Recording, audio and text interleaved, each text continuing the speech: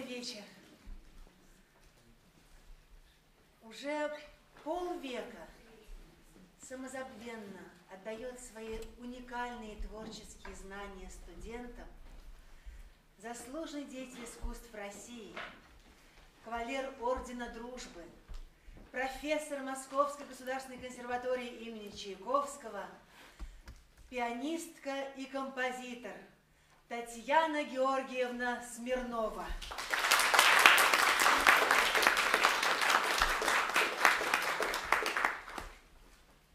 Татьяной Георгиевной всегда друзья.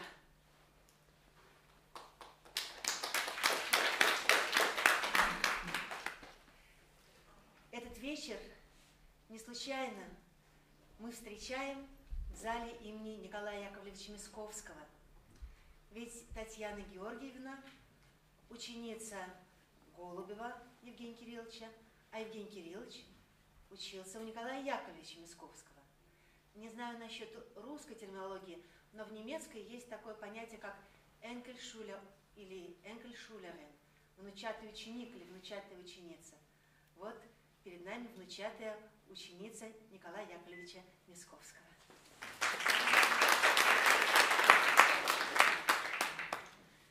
Николай Мисковский, три наброска на стихи Вячеслава Иванова – Сочинение 913 года. Гроза, долина храм, план Психея. Исполняют Елена Золотова и студент Татьяны Георгиевны Александр Звонов. Thank you.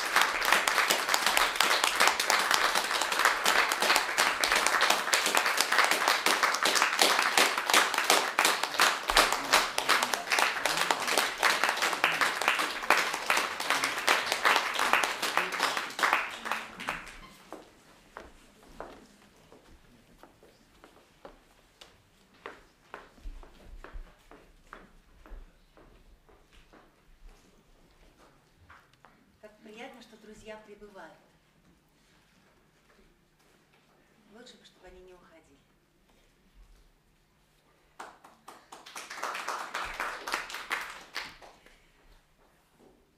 Звучанию вокального голоса близка флейта, но транскрипция мастера – это не песня без слов. Клод Дебюсси, романс, фавн, чудесный вечер. Транскрипция для флейты и фортепиано Татьяны Смирновой. Исполняют Александра Зверева и студент Татьяны Георгиевны Николай Курдюмов.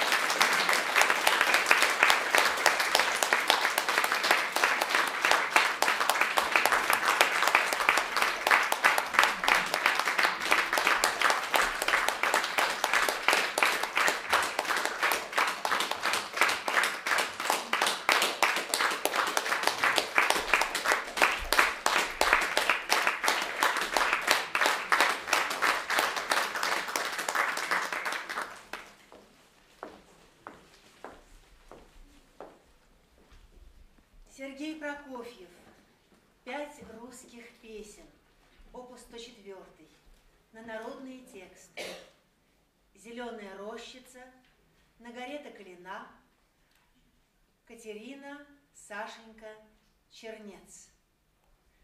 Исполняют Ольга Лебедева, Михаил Захарчук.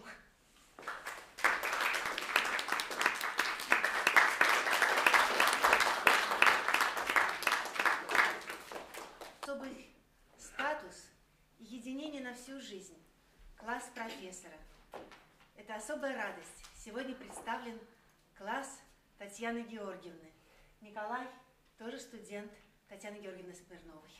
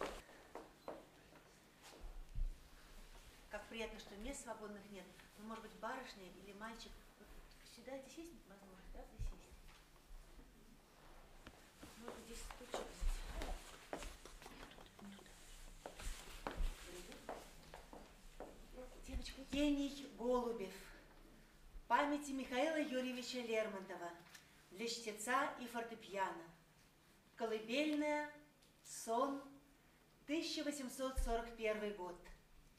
Исполняют Татьяна Смирнова, фортепиано, Андрей Гетман, художественное слово.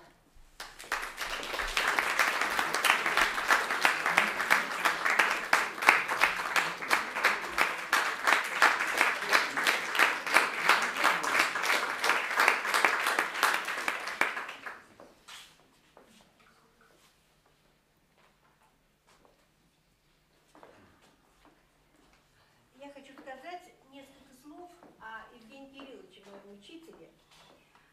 Э, Это был замечательный музыкант, который с такой радостью, с такой гордостью продолжал традиции, завещанные Николаем Яковлевичем Мисковским. Надо сказать, что еще одно имя было в этом ряду Николай Сергеевич Жиляев – тоже очень знаменитый, э, очень известный композитор. К сожалению, у нас вот сейчас очень часто многое забывается. И так же, как вот э, я сегодня с радостью э, смогла констатировать, что все-таки прозвучал Николай Яковлевич Мисковский, потому что сейчас, в наше время, очень редко звучит его музыка. Это крупнейший симфонист, так же, как вот его ученик, так же, как его последователь Евгений Кириллович Голубев. И вот то сочинение, которое мы сейчас исполним, оно впервые прозвучало вот несколько лет назад и было записано нами на компакт-диск, а компакт-диск вышел буквально э, два или три года назад с замечательными совершенно произведениями Евгения Кирилловича. И Евгений Кириллович, э, э, написав большой э, хоровой цикл, его при жизни фактически он его и не слышал.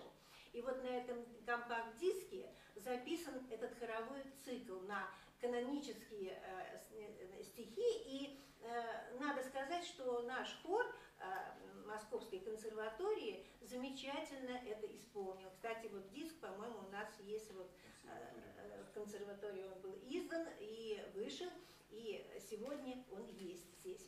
Но и та- также я хочу сказать, что Евгений Кириллович будучи крупным симфонистом и а, э, мастером, большим мастером а, произведений для струнного квартета и квинтета, он написал 24 опуса для вот такого состава, вы можете представить всю жизнь. И большие музыканты играли его музыку.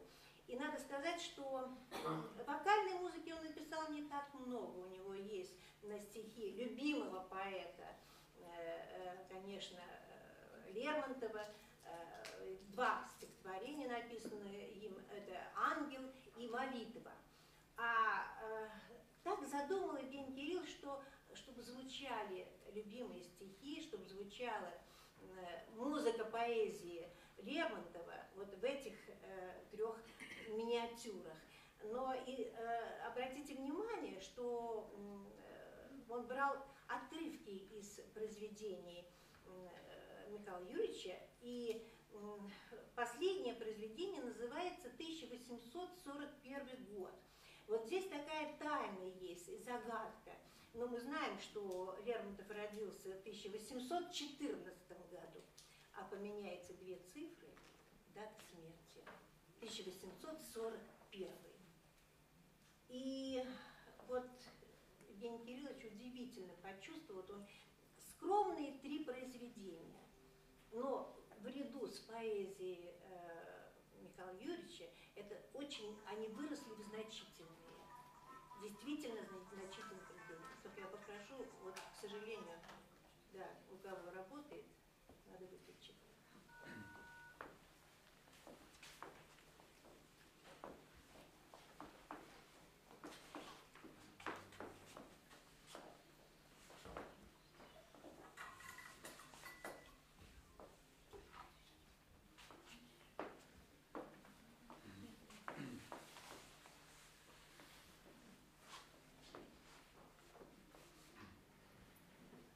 Но кто ж она? Зачем сокрыта в пустыне меж высоких стен? Или это добровольный плен, и ею радость позабыта? Или краска черная одежд с ее душой была согласна? Ее история ужасна, как вспоминание без надежд. Она отца и мать не знала, И люльку детскую ее Старушка чуждая качала.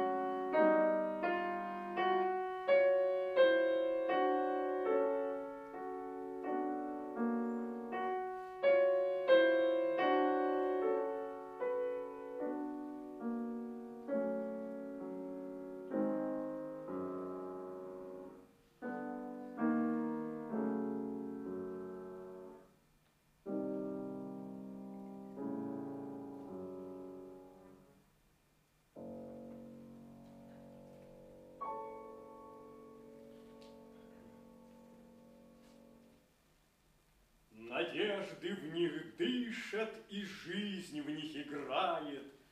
Их многие слышат.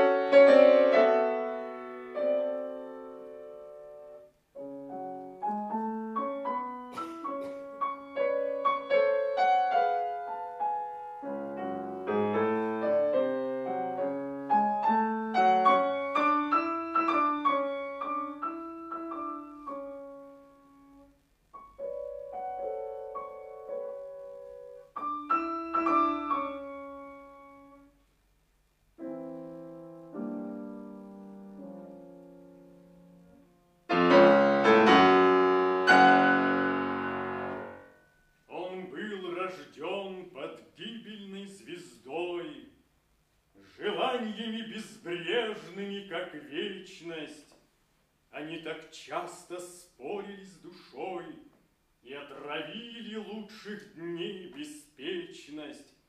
Они летали над его головой, Как царская корона, Но без власти венец казался бременем, И страсти, впервые пробудясь живым огнем, Прожгли алтарь свой, не найдя кругом Достойной жертвы, И в пустыне света на дружний зов Не встретил он ответа.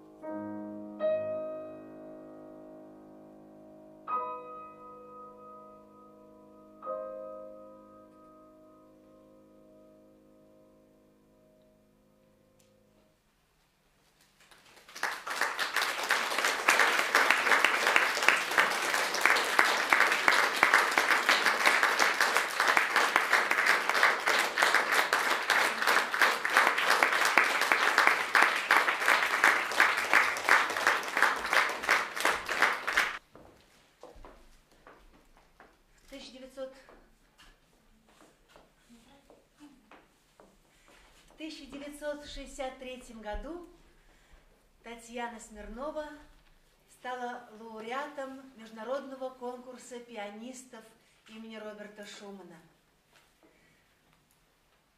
Игра Татьяны Георгиевны восхищает. И еще Татьяна Георгиевна стала автором уникальной работы для пианистов русской исполнительской школы. Александр Скрябин. Две поэмы. Сочинение 69 -е. Исполняет Татьяна Смирнова.